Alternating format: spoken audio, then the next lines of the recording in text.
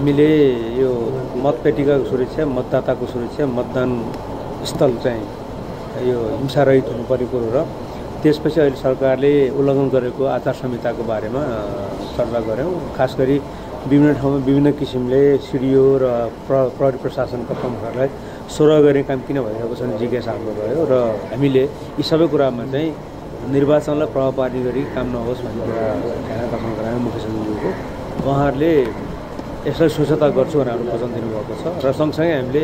मतदान पछिको समयमा सेक्युरिटी एजेन्सीले संवेदन संवेदनशील स्थलबाट चाहिँ मतपेटिका ल्याउने क्रममा चाहिँ